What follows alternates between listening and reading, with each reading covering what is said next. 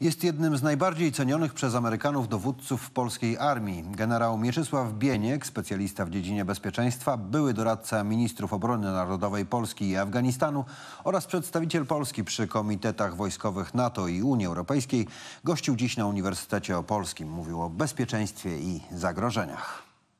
Możemy się czuć bezpiecznie.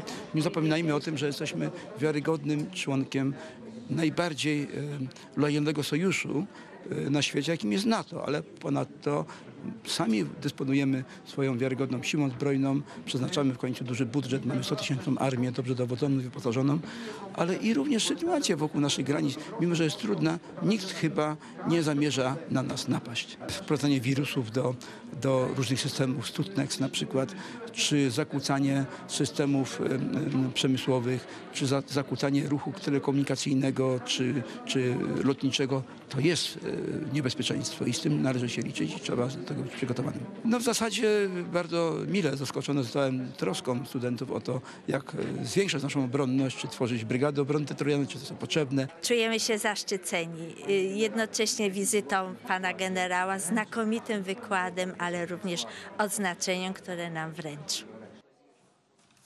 Zatań